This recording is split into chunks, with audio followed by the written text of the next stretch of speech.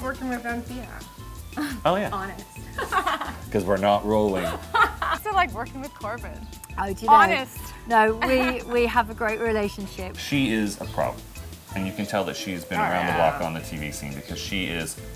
It's like this. There's a lot of banter, and we are absolutely we're quite rude to each other. I was slightly intimidated to work with her because here she is, this big, you know, celebrity from the UK. Yeah, the perfect housewife. Yeah. I know television a little bit, but he really does know his subjects. He said you're a pro. Yeah. In front and behind the camera. She has a huge wardrobe. I don't know how she contains all those clothes. It's sick how many clothes one woman can have. Yeah. I love behind- shoes. I don't care the fact that half the time they're not even on the camera. She never wears the same pair of shoes, never wears the same outfit. In fact, she has a bit of a shoe fetish. I Get love them in there when you perch up on the stool. I stool. do. Just Yeah. Have a look at my shoes, please. Acknowledge Wait. my shoes. I can get away with like four pairs of shoes.